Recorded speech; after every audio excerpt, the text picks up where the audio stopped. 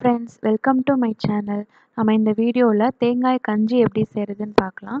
இந்த கஞ்சி மழைக்காலத்தப்போ ரொம்ப சளி இருமல் அதிகமாக வரும். அந்த டைமில் இந்த கஞ்சி சூடாக செஞ்சு சாப்பிட்டிங்கன்னா ரொம்ப நல்லாயிருக்கும் அதுக்கு முன்னாடி இந்த சேனலை நீங்கள் இன்னும் சப்ஸ்கிரைப் பண்ண இருக்க சப்ஸ்கிரைப் பண்ண ப்ரெஸ் பண்ணிவிடுங்க கூடவே இருக்கிற பெல் ஐக்கான் கிளிக் பண்ணிங்கன்னா உங்களுக்கு லேட்டஸ்ட் நோட்டிஃபிகேஷன் கிடைக்கும். என்னோடய வீடியோவும் நீங்கள் தவறாமல் பார்க்கலாம். இந்த தேங்காய் கஞ்சி செய்கிறதுக்கு ஒரு ஒரு கப் அளவுக்கு கோ தேங்காய் வந்து நறுக்கின தேங்காய் எடுத்திருக்கோம். அப்புறம் வந்து ஒரு ரெண்டு டேபிள் ஸ்பூன் அளவுக்கு அரிசி.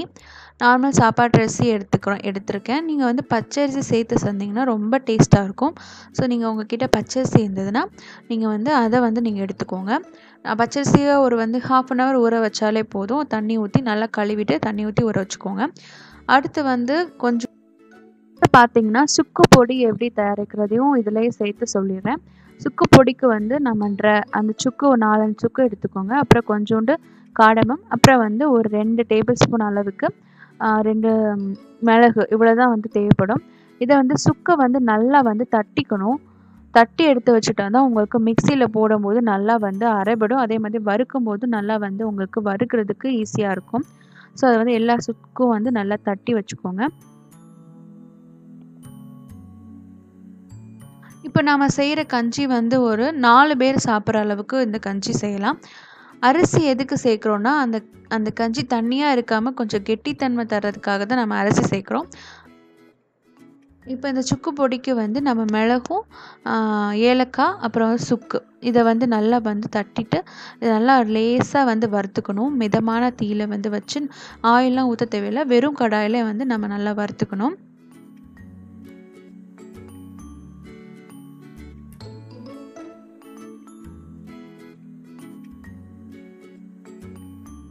ஜஸ்ட் அதை வந்து நல்லா வந்து ஃப்ரை ஆகிற வரைக்கும் வறுத்துக்கிட்டால் போதும்.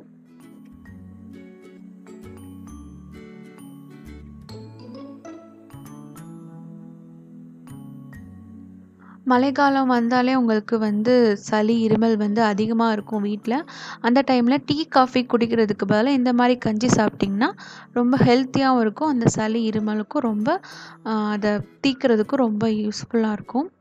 இப்போ நம்ம இந்த கஞ்சிக்கு வந்து ஒரு டீஸ்பூன் அளவுக்கு மிளகு அப்புறம் வந்து ஒரு ரெண்டு அந்த பார்த்திங்கன்னா ரெண்டு சுக்கு ரெண்டு சின்ன பீஸ் அளவு சுக்கு அப்புறம் வந்து ஒரு ரெண்டு ஏலக்காய். அவ்வளோதான் சேர்க்க போகிறோம் இந்த கஞ்சிக்கு.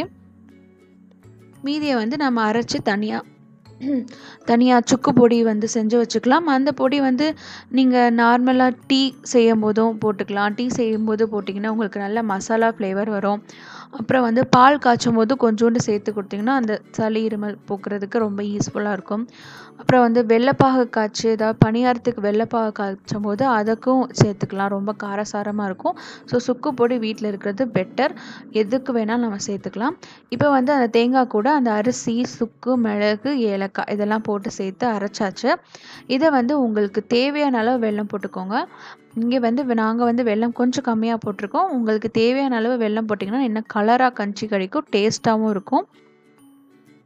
ஸோ இதில் வந்து தேவையான அளவு ஒரு இந்த அரைச்சதுக்கு சேர்த்து ஒரு ரெண்டு கிளாஸ் அளவுக்கு தண்ணி ஊற்றிக்கோங்க தண்ணி ஊற்றி நல்லா வந்து கொதித்து சுண்டின பிறகு டேஸ்ட்டான தேங்காய் கஞ்சி வந்து ரெடி ஆகிடுச்சு ரொம்ப சிம்பிள் நம்ம ஈவினிங் டைமில் டீ காஃபி குடிக்கிறதுக்கு பதிலாக இது நீங்கள் செஞ்சு சாப்பிட்லாம்.